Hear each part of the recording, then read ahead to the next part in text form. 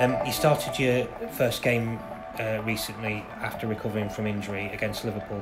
How pleasing of a moment was that for you? Yeah, that was uh, amazing. Uh, I remember when I came in in the FA Cup against uh, Wolves.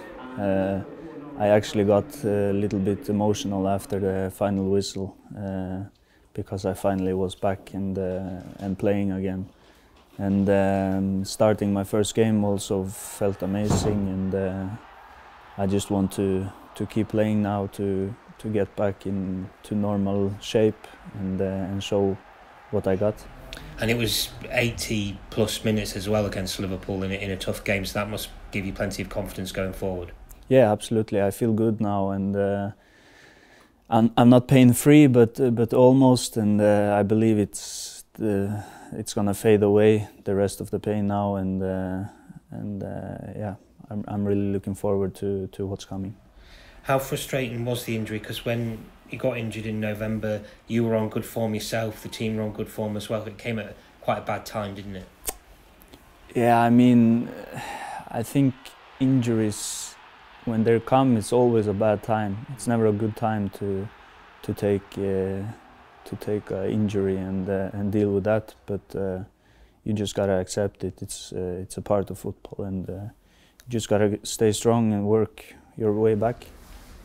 It was a defeat last time out against Liverpool, but a, a positive performance. So, um, do you take confidence from that going into Friday's game against Southampton? Yeah, absolutely. We uh, we did, in my opinion, very well against one of the biggest in the world. Um, and we concede three goals in my opinion and uh, and yeah a lot of positive from that game. So yeah absolutely confident uh, into the next game. Um, you started in uh, the previous game against Southampton here at Carrow Road which we won 2-1 um, but they played very well in the in, in the first half.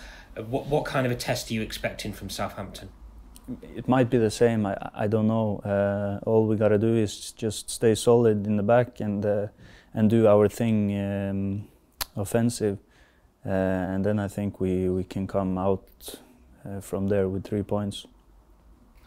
Um, Norwich will play ahead of everybody else that weekend as well. How much of a motivating factor is that to get three points on the board and perhaps put some pressure on the other teams down near the bottom? Me personally, I'm always motivated no matter what and what's around me and uh, all other games. So I, I, don't think about that, and I don't think that anyone around the team is uh, affected by that. We just have to win the game, and I think that's clear to everyone.